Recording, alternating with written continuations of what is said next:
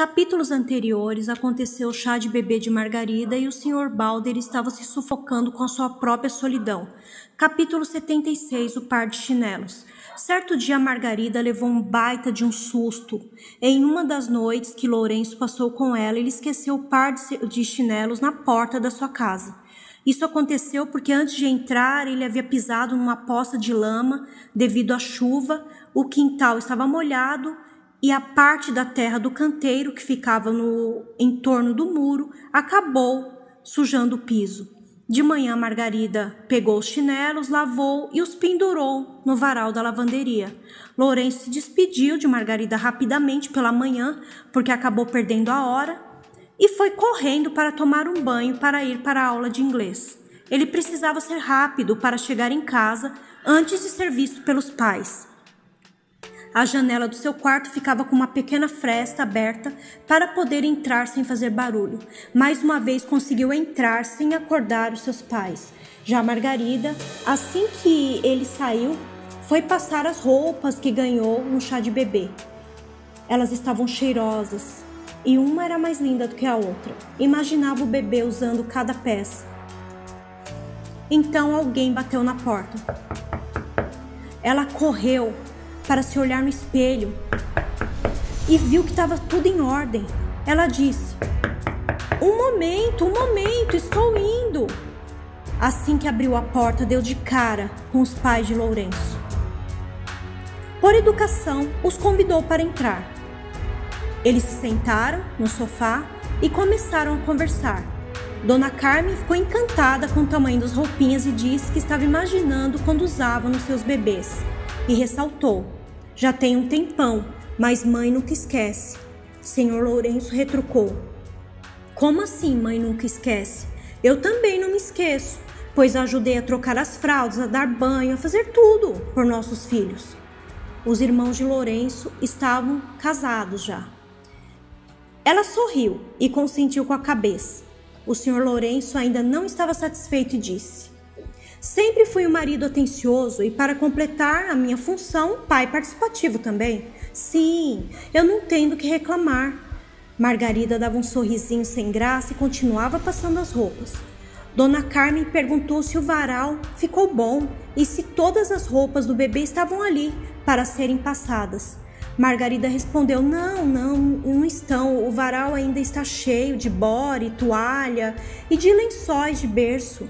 O chá de bebê foi abençoado. Graças a Deus ganhei muitos presentes. Vem ver, Dona Carmen. Dona Carmen, juntamente com o Sr. Lourenço, a seguiram até a lavanderia. Ao chegarem na área de serviço, deram de cara com os chinelos de Lourenço. Dona Carmen ficou até pálida e questionou: O que o chinelo do Lourenço está fazendo aqui? Margarida pensou rápido e disse: É, eu pedi emprestado para ele pois estou sem chinelo de borracha e precisava lavar o piso da lavanderia, e para não escorregar, os usei, lavei e os pendurei para devolver. Ela achou que escaparia ilesa, mas Dona Carmen, muito ríspida, respondeu: Quando precisar de alguma coisa, pode pedir para mim. Sim, senhora, o senhor Lourenço disse. Ah, por favor, Carmen, que mal tem em pedir um par de chinelos? O problema não está no par de chinelos, e sim no que pode acontecer através deles. Se é que me entende. O senhor Lourenço balançou a cabeça negativamente e disse: Você viaja nas ideias, Carmen. Precisa parar de ouvir as novelas no rádio. Vai vendo! Você acha que as novelas são baseadas em quê? Margarida ficou sem jeito, não quis dizer nada e desconfiou que Dona Carmen tinha percebido que ainda acontecia algo entre ela e o seu filho Lourenço. Depois dessa saia justa, os pais de Lourenço se retiraram. Assim que eles saíram, pois era dia de fazer compras, as compras do mês, Margarida entrou no banheiro e chorou muito. Um pouco depois, ouviu umas batidinhas na porta.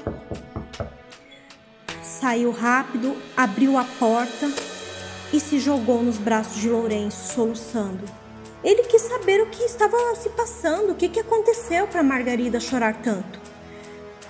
Ele ficou muito chateado e disse: Minha mãe deve estar com algum problema. Ela não poderia ser mais agradável? Margarida, enxugando as lágrimas, respondeu: O problema dela sou eu. Lourenço entrou no chuveiro junto a Margarida enquanto ia lavando a barriga dela, disse: Você não é e nunca será um problema para nós. A maior punição que estou sofrendo é estar impedido de expor ao mundo meu amor por você e por causa dessa censura sou obrigado a vê-la quase que enclausurada dentro dessa casa. Não vou tomar nenhuma decisão baseada no medo. Fomos inconsequentes, mas quero arcar e assumir o que fizemos. Você está incluída nas minhas melhores escolhas, que fiz para a minha vida. A minha raiz estará sempre firmada na verdade, na honestidade e no amor. Margarida riu, falou: Você é quase um político. Ele disse: É, não é bem assim, eu estou só defendendo o que eu penso. Acredito que em breve meus pais conhecerão verdadeiramente o que sinto por você. O que você pretende então? Ainda não sei como farei o que penso, mas nunca serei um homem que fugirá das suas batalhas. A minha decisão já está tomada. Depois desse longo discurso, abraçou a Margarida, cheirou o pescoço dela, a beijou. Ela começou a lavar o cabelo, Lourenço quis fazer uma massagem em suas costas e ela disse que realmente precisava de uma massagem, pois sentia muita dor na parte inferior das costas. Dona Carmen e seu Lourenço chegaram ao mercado, mas lembraram que haviam esquecido a lista de compras em cima da mesa da cozinha Senhor Lourenço disse que deveriam iniciar as compras mesmo assim, pois andando por cada corredor do mercado não esqueceriam de pegar nenhum produto. Mas Carmen pediu que voltassem para casa, pois havia escrito o nome de um sabão que, misturado com bicarbonato de sódio, tiraria uma mancha de vinho que estava na camisa de Lourenço. Deixa para a próxima compra, mulher, Senhor Lourenço falou. Mas ela insistiu e disse que precisava do produto e ressaltou que esqueceu ainda de perguntar para Margarida se ela estava com desejo de comer alguma coisa diferente. Então aproveitaria para perguntar isso para ela também. O senhor Lourenço disse: Hum, preocupada com Margarida, as coisas estão melhorando. Lourenço, muito desligado, quando entrou na casa de Margarida, acabou deixando o par de tênis do lado de fora, na porta da entrada. No próximo capítulo saberemos o que acontecerá. Será que Dona Carmen pegará os dois no flagra? Próximo capítulo, capítulo 77, a lista de supermercado maldita.